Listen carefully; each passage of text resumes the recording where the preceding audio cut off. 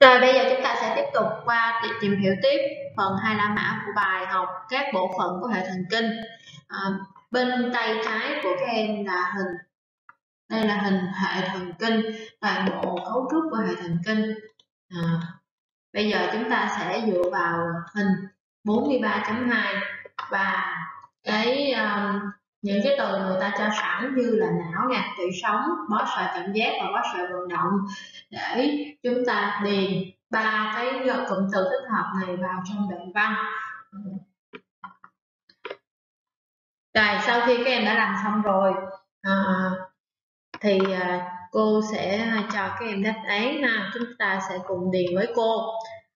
Hệ thần kinh gồm bộ phận trung ương và bộ phận ngoại biên.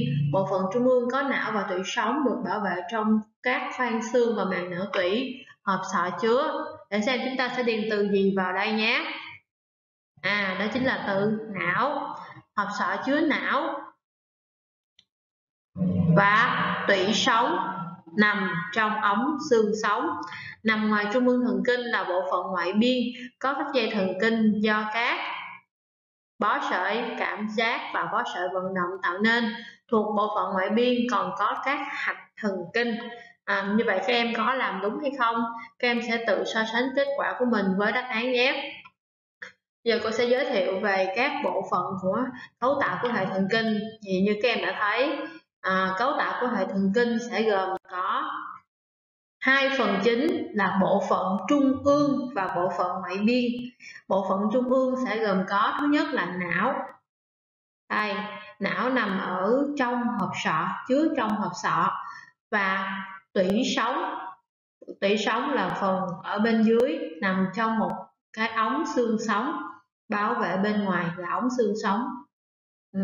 Đó là bộ phận ngoại biên và bộ phận trung ương. Còn bộ phận ngoại biên thì gồm các dây thần kinh dây thần kinh nó sẽ xuất phát từ não hoặc là từ tủy sống để đi ra à, các cái cơ quan.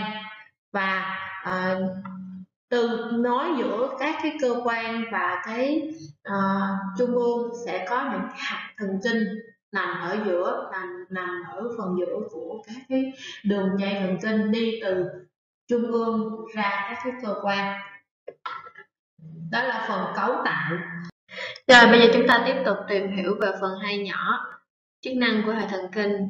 À, chúng ta sẽ dựa vào thông tin sách giáo khoa trang 138 và trả lời cho câu câu hỏi phân biệt chức năng hệ thần kinh vận động và hệ thần kinh sinh dưỡng. Này, sau khi mà chúng ta đã trả lời câu hỏi xong thì chúng ta thử xem hệ thần kinh vận động và hệ thần kinh sinh dưỡng có gì khác nhau nhé. Đây, với hệ thần kinh vận động thì ờ, chức năng của nó là nó sẽ điều khiển sự hoạt động của các cơ vân và thường nó sẽ là những hoạt động có ý thức hay là những hoạt động mà diễn tả những cái hành động của chúng ta. Còn hệ thần kinh sinh dưỡng là thần kinh à, giúp chúng ta điều giúp cho chúng ta điều hòa các cơ quan sinh dưỡng à, để nuôi dưỡng cơ thể và cơ quan sinh sản. À, thường những những cái hệ thần kinh sinh dưỡng là điều điều khiển những cái hoạt động không có ý thức à, trong cơ thể của chúng ta. Như vậy tóm lại hệ thần kinh sinh dưỡng chức năng của dựa vào chức năng thì hệ thần kinh sẽ được chia thành là hệ thần kinh vận động và hệ thần kinh sinh dưỡng. Rồi bài học đến đây là kết thúc. À, xin cảm ơn các em đã đã lắng nghe. À, các em về nhà các em chép bài thật đầy đủ vào bài tập sinh học à, giúp cho cô để hoàn thiện bài học của mình nhé hẹn gặp lại các em ở phần bài học lần sau.